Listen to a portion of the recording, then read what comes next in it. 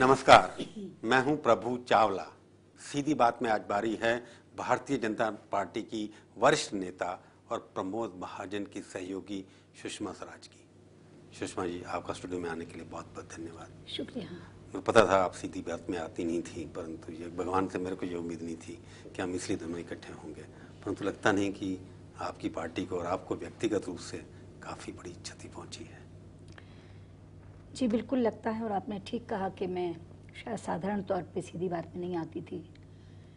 लेकिन आज जब आपने मुझे कहा कि आज की सीधी बात आप प्रमोद जी की याद में कर रहे हैं फिर ना करने की गुंजाइश भी नहीं थी। मुझे लगा कि प्रमोद जी की खासियत थी कि वो किसी भी परिस्थिति में डिमोरलाइज नहीं होते थे, बड़ी सी बड़ी हार से भी कैमरे से बचते नहीं थे। तो मुझे लगा कि हालाँकि हम लोग शोक में हैं लेकिन चूँकि आप प्रमोद जी को याद करते हुए ये कार्यक्रम कर रहे हैं इसलिए मुझे शोक के होते हुए भी जाना चाहिए और इसलिए मैंने आपके निमंत्रण को स्वीकार किया। नहीं, प्रमोद जी के बारे में जैसे कि कभी भी कैमरे से अड़ते नहीं थे प्रमोद जी एक लड़ाकू थे। इस तरह की लड़ाई वो हार जाएँगे ये किसी को भी आपको भी और हमारे जैसे दोस्त जो उनके साथ थे उम्मीद नहीं थी। तो प्रमोद जी जो जिस तरह के व्यक्ति थे आपको लगता है कि भारतीय जनता पार्टी में ऐसा कोई नेता आप काफ़ी दिनों में तैयार कर पाएँगी कि नहीं? नेता बहुत दिनों में तैयार होता है। वर्षों लगते हैं, वो पल पल तिल तिल जलता है, स्वयं को बनाता है। इसलिए जैसे आपने पहले कहा कि जो क्षति हमें हुई है, वो अपूर्णीय क्षति है। हमारे लिए तो ये भूलना ही बहुत मुश्किल होगा कि प्रमोद जी हमारे बीच में नहीं है।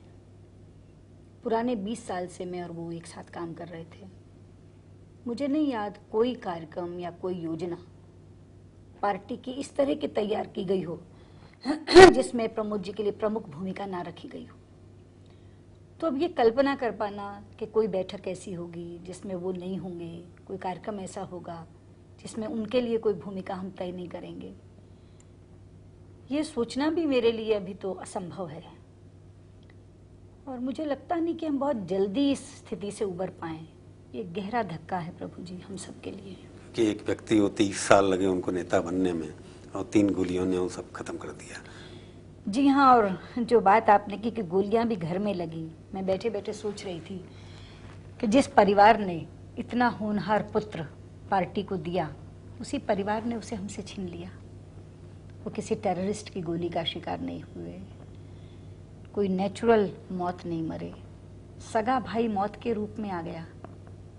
तब जैसे आपने कहा कि लड़ाई उन्हें लड़नी पड़ेगी तो वो लड़ाई हार गए उन्हें ऐसी लड़ाई लड़नी पड़ेगी ये भी तो हमने कभी सोचा नहीं था।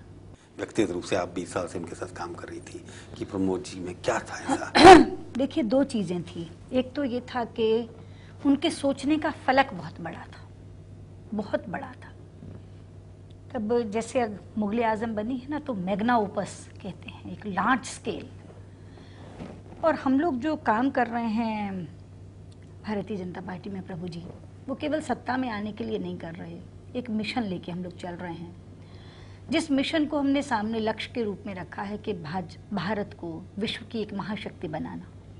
उसके लिए ऐसे नेताओं की ज़रूरत होती है जो बड़ा सोचें तो Pramod ji was one such leader who use to think big बहुत बड़ा कैनवस था, बहुत बड़ी सोच थी, और कई बार वो समय से आगे सोचते थे। एक तो ये खूबी थी उनमें दूसरी। लेकिन दूसरी बड़ी खूबी थी कि ये इतना बड़ा गोल जो वो रख लेते थे, उसको अचीव करने के लिए, उसको प्राप्त करने के लिए छोटे से छोटी डिटेल पर योजना बनाते थे। यानी सोचने का स्केल बहुत बड़ा, लेकिन उसको प्राप्त करने की जो योजना थी, वो माइन्यूटेस्ट डिटेल तो उनकी आदत थी एक छोटा सा पैड रखते थे मिनी पैड उस पर लिखते जाते थे, लिखते जाते थे। और जब कभी भी उस कार्यक्रम के बारे में चर्चा होती थी तो हम हैरान होते थे कि इतनी छोटी सी चीज़ भी ये पूछ रहे हैं। उसके बारे में भी वो तय करते थे। नहीं जैसे कहते हैं ना कहावत है कि आईना तो वही रहता है चेहरे बदलते रहते हैं देखने के लिए। आपको लगता नहीं प्रमोद महाजन जी एक ऐसा चेहरा था जिसके लिए आईना ढूंढना पड़ता था? मुझे तो लगता कि स्वयं में ही एक आईना थे। और जिसमें लोग दर्शन करते थे आ, पार्टी की उस सोच का जो पार्टी भारत को बाहर दुनिया में एक नया अस्तित्व देने वाली पार्टी बन रही थी एक ऐसा आईना थे प्रमोद जी। जब वो बाहर जाते थे और यहाँ के बारे में बात कहते थे या बाहर के लोग जब यहाँ आते थे और उनसे मिलते थे तो उनको लगता था कि अगर ये पीढ़ी है भाजपा की अगर ये सोच है भाजपा के नेताओं की तो कोई रोक नहीं सकता ना बीजेपी को बढ़ने से ना भारत को बढ़ने से। वो स्वयं में का ना थे। प्रमोद जी में एक और खूबी जो लगता है लोगों का कहना ये है कि आप दूसरी पंक्ति के नेताओं में माने हम तो सोचते हैं कि पहली पंक्ति है, दूसरी पंक्ति तो नहीं कह सकते, उसमें आप भी हैं, प्रमोद जी भी हैं, नरेंद्र मोदी हैं, कुछ और लोग भी हैं। तो तो लगता है प्रमोद जी एक ऐसे व्यक्ति थे जो कंट्रोवर्सी से भी नहीं डरते थे। अपने ऊपर ले लेते हर चीज़। जी हाँ उनका एक एटीट्यूड था आई केयर ए डैम और इसीलिए वो बहुत बार विवादों से घिरे रहे। तो एक ही बात कहते थे, अगर उनको ज़्यादा कुछ कह दो तो लोगों का काम है कहना। मुझे लगता है शायद ये गीत उन्हें बहुत पसंद था। और इसकी एक पंक्ति हमेशा कह देते थे वो, सीता भी यहाँ बदनाम हुई, लोगों का काम है कहना। तो ये एक एटीट्यूड था उनका, जो उनका गुण और दोष दोनों ही बन गया था। कुछ लोगों का कहना है कि जो एक क्वालिटी होती है, अच्छी क्वालिटी पॉलिटिशियन की, कि डुप्लीकेट होना बैक बाइटिंग करना, और दूसरों की तारीफ़ नहीं करना एरोगेंस तो उनकी पूरी क्वालिटी थी। परंतु ये सब बुरी क्वालिटी जो है, होती है पॉलिटिशियन में, वो उनके अंदर एक भी नहीं थी। नहीं, बिल्कुल नहीं थी। बिल्कुल नहीं थी उनमें। और देखिए, मैं आपसे एक बात कहूँ कि जैसे आपने कहा कि औरों की तारीफ़ ना करना और ये वो अभी जब महाराष्ट्र का चुनाव होना था, वो महाराष्ट्र के प्रभारी थे। तो उन्होंने एक दिन बीजेपी बीट के कॉरेस्पॉन्डेंट्स को बुलाया। वो आठ दस लोग जो निरंतर बीजेपी बीट कर रहे हैं, उनसे वो महाराष्ट्र के चुनाव के बारे में बात कर रहे थे। अगले दिन वो लोग मुझसे मिलने आए। और बोले, सुषमा जी, कल हमको महाजन जी ने बुलाया था और वो उन्होंने सारी चुनाव के बारे में ब्रीफिंग की, लेकिन उन्होंने आपकी बहुत तारीफ़ की। तो मैंने कहा भी मेरी तारीफ़ किस प्रसंग में? तो उन्होंने कहा कि वो ये कह रहे थे कि भी मैं चुनाव में किस किस को बुलाने का, हम प्रचार की बात कर रहे हैं? तो उन्होंने कहा भी मैंने तो सात दिन सुषमा जी से मांगे हैं और दिन कमिट भी कर लिए हैं, क्योंकि एक तो उनकी सबसे ज़्यादा मांग है और दूसरा, वो बहुत ही डिसिप्लिन कैंपेनर है। तो ना तो ये नहीं ना तो ये कहती हैं कि मुझे यहाँ जाना यहाँ नहीं जाना समय पे आ जाएँगी ना ये कहेंगी मुझे फला गाड़ी से चलना है मुझे फला जहाज़ से चलना तो मैंने उन लोगों से कहा कि बहुत अच्छा हुआ कि आपने स्वयं सुन लिया। ये जो आप धारणाएँ बनाते रहते हैं हम लोगों के बारे में नेक्स्ट जनरेशन लड़ती है आपस में एक दूसरे को काटती है एक दूसरे के बारे में जेलस फील करती है किसी के बारे में तारीफ़ नहीं करती। मुझे बहुत अच्छा हुआ कि मैं हमेशा ये कहती थी आपकी ये धारणा गलत है। इसमें सच्चाई रत्ती भर नहीं है। लेकिन आज आप स्वयं आकर अगर मुझे ये बात बता रहे हैं तो बहुत ही अच्छा हुआ कि ये धारणा आपके पास स्वयं ध्वस्त हुई प्रमोद जी के कहने से। पर सुनने में जो आता था, हम पत्रकारों कई बार आता है, मैं भी प्रमोद जी को जानता था कि कभी सोचा नहीं। परंतु जो दूसरी श्रेणी के नेता हैं, कई बार आप और प्रमोद जी में सामाजिक रिश्ता जिसको कहते हैं ना, वो थोड़ा बहुत कम था आप सब इस तरह की। प्रमोद जी व्यस्त रहते थे, आप भी व्यस्त रहती होंगी। परंतु उस तरह का उठना बैठना शायद आपका उनके साथ कम था, फिर भी आप नज़दीक इतने कैसे नहीं ऐसा है प्रभु जी जहाँ तक मेरा अपना सवाल है ये नहीं कि वो मेरा और प्रमोद जी के साथ में मेरा इन लोगों से सबसे बहुत अच्छा रिश्ता है लेकिन आ, शायद उनकी व्यस्तता से ज़्यादा मुझे स्वयं को शुरू से लगता था। देखिए मैं एक पारिवारिक महिला हूँ तो मुझे बहुत कम समय मिल पाता है परिवार के लिए। इसलिए मैंने हमेशा जो मेरा इतना सुखी दाम्पत्य जीवन और इतना सुखी पारिवारिक जीवन चल रहा है वो एक शैली के कारण चल रहा है कि मैं जितना समय राजनीति में लगा उसके तुरंत बाद घर भागती हूँ। और इसलिए जो उस तरह का रिश्ता बन पाता ना कि इकट्ठे बैठना फिर खाना पीना फिर कभी उनके घर आना कभी हमारे घर जाना ये मेरा किसी और से भी नहीं बना है।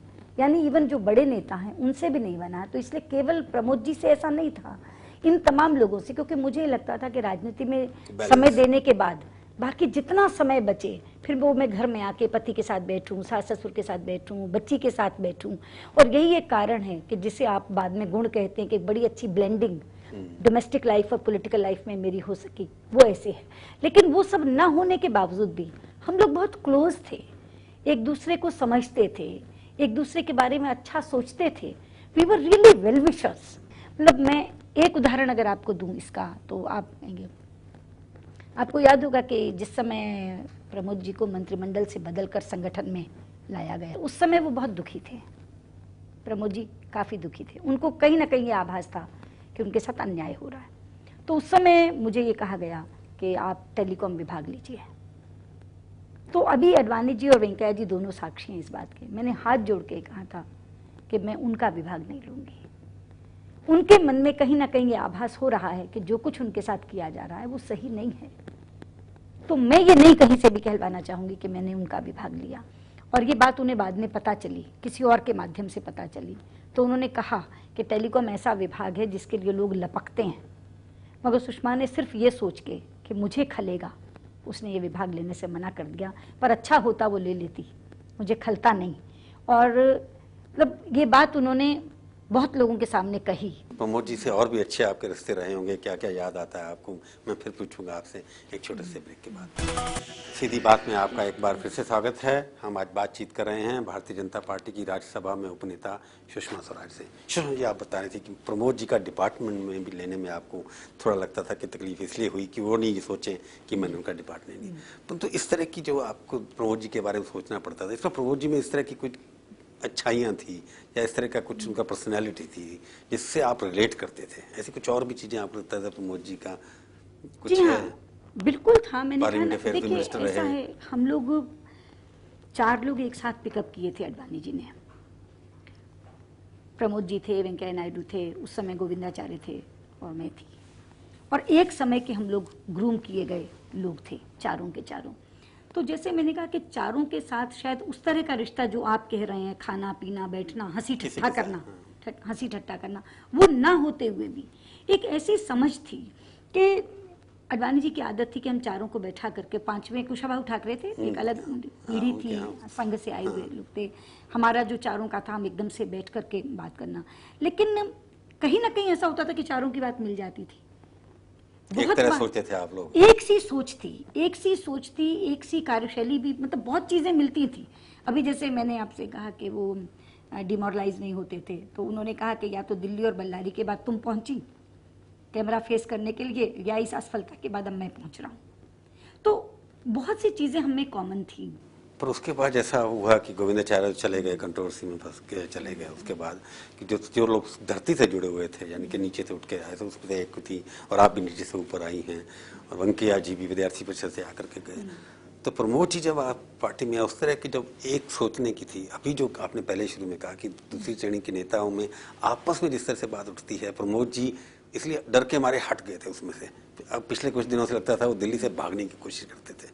इसका कारण ये नहीं था कि उनको दूसरी श्रेणी के नेता यहाँ जो बैठे थे, उनको परेशान करते थे देखिए, ये बिल्कुल सच नहीं है और पहली बात तो मैं आपसे बता दूँ, जैसे मैंने एक उदाहरण देकर कहा कि बिल्कुल गलत बात थी जो लगता है कि दूसरी श्रेणी के नेता आपस में लड़ते हैं। अब मुझे ये बताइए कि आडवाणी जी के बाद अध्यक्षता वेंकैया नायडू जी के पास गई, किसने स्वीकार नहीं किया? प्रमोद जी उनके साथ महामंत्री बने अरुण जी उनके साथ महामंत्री बने, वेंकैया नायडू अध्यक्ष रहे। वेंकैया जी के बाद अब अध्यक्षता राजनाथ सिंह जी के पास गई। किसने स्वीकार नहीं किया? फिर प्रमोद जी उनके साथ महामंत्री बने अरुण जी भी महामंत्री बने। मैं चूँकि राज्यसभा में उपनेता हूँ और एक वन मैन वन पोस्ट का सिद्धांत हमारे यहाँ है, इसलिए मैं उधर पार्लियामेंट देख रही हूँ, वो इधर देख रहे हैं। मुझे ये समझ नहीं आती कि ये चीज़ें चलती बहुत हैं। अखबारों में छपता रहता था कुछ उनके खिलाफ। वो फंड रेजर उनकी इमेज बना दी थी कि वो कंट्रोवर्शियल हैं मॉडर्न लाइफस्टाइल ठीक नहीं है। इस तरह की अखबारों में जो छपता है वो सब सच नहीं होता। वो अपनी परसेप्शंस पर छपता है। बहुत बार वो रियलिटी से बहुत फ़र्क होता है। और देखिए जहाँ तक प्रमोद जी का सवाल था प्रमोद जी तो एक चीज़ को छोड़कर ख़त्म होते ही दूसरी शुरू करते थे। मैं एक चीज़ सिर्फ़ अगर आपको बताऊँ जब चुनाव ख़त्म हुआ तो उसके बाद एक चिंतन बैठक हुई, गोवा में। अब उस चिंतन बैठक में बार बार हो रहा था, इसकी समीक्षा की जाए, हम क्यों हारे? ये बात। बोलते बोलते प्रमोद जी की बारी आई। तो प्रमोद जी ने एक वाक्य कहा, जो अभी तक मेरे दिमाग में रजिस्टर्ड है और हमेशा रहेगा। उन्होंने कहा, मैं ये मानता हूँ कि एक असफलता को दूसरी सफलता ही मिटा सकती है।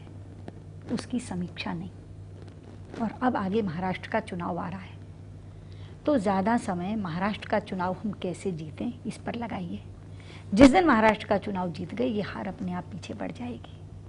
समीक्षाएँ जिन्हें करनी है वो करते रहेंगे, लेकिन आइए हम ज़्यादा समय इस पर लगाएँ। अब ये एक वाक्य, ब्रह्म वाक्य बन गया है। एक असफलता को दूसरी सफलता ही मिटा सकती है, उसकी समीक्षा नहीं। अब ये कौन सोच सकता है? जबकि सारी असफलता का ठीकरा उनके सिर फोड़ा जा उन्होंने है। खुद कहा था कि मैं रिस्पॉन्सिबल हूँ इसके लिए। जब हार गया उसके बाद उन्होंने कहा एक प्रेस कॉन्फ्रेंस से कि अगर हार का क्रेडिट मेरे को देना चाहते हैं मैं तैयार हूँ लेने के लिए। मैं एक ये चीज़ भी एक पर्सनैलिटी थी उनकी। मैं एक चीज़ बताऊँ? मुझे कभी कभी लगता है प्रमोद एक मायने में बदकिस्मत थे। जो काम उन्होंने अच्छे किए उसका श्रेय उन्हें नहीं मिला। जो काम उन्होंने नहीं किए उसका दोष उनके माथे मढ़ा गया। मैं दो उदाहरण दूँ। टेलीकॉम विभाग में जो काम उन्होंने किए वो बहुत बड़े फैसले थे बहुत ही बड़े फैसले आज देश में जो मोबाइल क्रांति हो रही है अगर इसके लिए किसी व्यक्ति को याद किया जाना चाहिए आज के इस रेवोल्यूशन के लिए तो उसमें प्रमोद महाजन का बहुत बड़ा योगदान है। लेकिन वो श्रेय उन्हें नहीं मिला। लेकिन चुनाव की हार में इंडिया शाइनिंग का फेल होना ये उनके सिर मढ़ दिया गया। जबकि उनका था नहीं उनका बिल्कुल नहीं था। मैं अंदर हूँ ना मैं जानती हूँ इंडिया शाइनिंग कैंपेन से उनका दूर दूर तक का वास्ता नहीं था। ये वित्त मंत्रालय का कैंपेन था जिसको ना प्रमोद जी ने देखा था ना उन्होंने कभी उसको अप्रूव किया था। लेकिन वो कहते चले गए पर लोगों ने इसका ठीकरा उन्हीं के सिर फोड़ा कि इंडिया शाइनिंग उन्होंने और उनकी देखो नवाजी की मान लिया उन्होंने। मानते मैं वही कह रही हूँ ना क्योंकि आई केयर ए डैम वाली जो चीज़ थी मैंने कहा ना वो कभी कभी गुण बन जाती थी। लेकिन वो कहते थे ठीक है कह रहे हैं ना अब मैंने नहीं किया पर अब कह रहे हैं तो चलो मैं स्वीकार कर लेता हूँ मतलब आपकी पार्टी में अभी कोई दूसरा प्रमोद महाजन नहीं है। देखिए एक व्यक्ति का तो दूसरा ना हम शक्ल होता है। ना हम और- होता है। एग्जैक्टली लेकिन चूँकि हम जैसा मैंने कहा हम एक मिशन के लिए काम कर रहे हैं तो उस मिशन के चलते जो हैं लोग वो अपने आगे से आगे बढ़ेंगे। क्योंकि प्रमोद एक जनरल थे। और मैं कई बार सोचती थी कि अगर प्रमोद जी राजनीति में ना होते तो फौज के एक बड़े कुशल जनरल होते हैं। अब मिशन हमारा बाकी है और एक बहुत कुशल जनरल हमने खो दिया। लेकिन इसके साथ मिशन तो समाप्त नहीं हो जाएगा। तो जो बाकी लोग हैं वो बढ़ेंगे। आगे लेकर तो जाना है। मिशन तो रुक नहीं सकता। लेकिन इस जनरल के शोक से उबर पाने में ज़रूर समय लगेगा। एक बात बताइए कि अब लगता है प्रमोद जी के जाने के बाद द्वितीय श्रेणी में बार बार यूज़ कर रहा हूँ। उसमें जो नेता हैं थोड़ा आपस में मिलजुल के ज़्यादा बात करेंगे थोड़े आप एक दूसरे के खिलाफ कम बोलेंगे या पत्रकार गलत लिखना बंद कर देंगे। मुझे लगता है अगर आप लोग लिखना बंद कर दें तो, तो सच्चाई वही सच्चाई वही होगी। हम लोग आपस में एक दूसरे से जितना ज़रूरत है ज़रूर बोलते हैं एक दूसरे के साथ बैठकर ही योजना बनाते हैं। और ये कहना कि हम कोई एक दूसरे के खिलाफ सोचते या करते ये नहीं है। ना ये प्रमोद जी के रहते सच था। ना ये प्रमोद जी के जाने के बाद सच होगा। निश्चित तौर पर एक कोहेसिवनेस जो पार्टी में डिसीज़न मेकिंग में है, वो इसी कारण से है कि हम लोग एक साथ सोचते हैं और इकट्ठे बैठकर सोचते हैं। ये ठीक है कि उस सोचने वालों में और वो नहीं होगा व्यक्ति जो हम सबके साथ बैठ कर के उस सोच में ह्यूमर डालता था, बात करता था। वो नहीं होंगे, उनकी कमी खलेगी। लेकिन जो बात आप ये कह रहे हैं, आप निश्चित तौर पर देखेंगे कि एक टीम जो बची है वो कोहेसिवनेस से काम देखते हैं कि क्या होता है। प्रमोद जी की आपूर्ति को कैसे पूर्ण करेंगे ये तो समय ही बताएगा। आप हमारे स्टूडियो में आई बहुत बहुत धन्यवाद। शुक्रिया।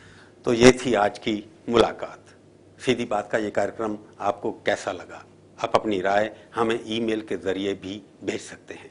हमारा ईमेल का पता है एस बी एट आज तक डॉट कॉम अगले हफ़्ते आएगी बारी एक और हस्ती की। इंतज़ार कीजिए तब तक। और देखते रहिए आज तक।